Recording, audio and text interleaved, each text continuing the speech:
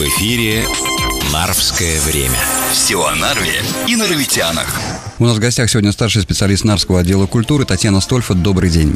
Добрый день. 5 марта в Нарве пройдет первый весенний праздник. Что интересного в этом году на праздновании Масленицы ждет горожан и гостей нашего города?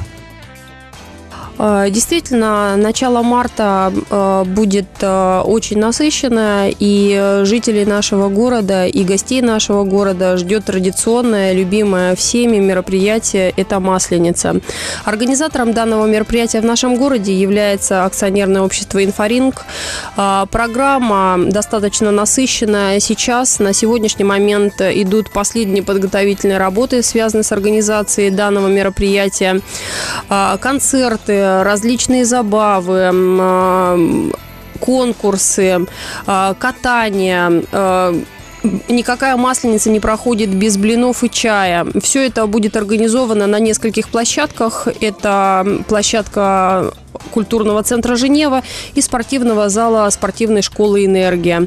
Как организаторы праздника, акционерное общество «Инфоринг», конечно, ждет наших жителей для того, чтобы посмотреть и поучаствовать в тех мероприятиях и конкурсах, которые будут проходить на территории нашего города.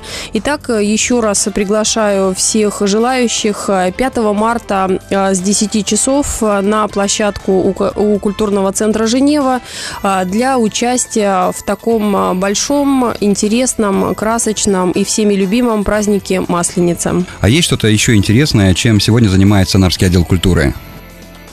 А, на сегодняшний момент а, в торговом центре «Астрия» на третьем этаже организована выставка великолепного, а, умело человека с золотыми руками. Это выставка макетов Федора Шансова. Тематика данной выставки – это церкви нашего города. Церкви представлены, начиная с времен Ивана Грозного до где-то до 20 века. Макетов порядка порядка 19.